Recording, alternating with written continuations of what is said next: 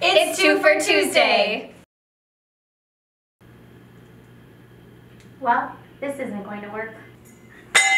Ow, what, what, what was that? Oops. I'm sorry. I'm just trying to get Wago's new Top Job S mini terminal block mounted to a DIN rail. Top Job S Mini? Yeah, it has all the advantages of our standard Top Job S terminal blocks, but it's 60% smaller and features the same industry-proven cage clamp technology used throughout our Top Job S series. Well, if it's smaller, then you're gonna need a mini DIN rail, like this. This is the perfect solution where space is limited. But what if using a DIN rail is impossible?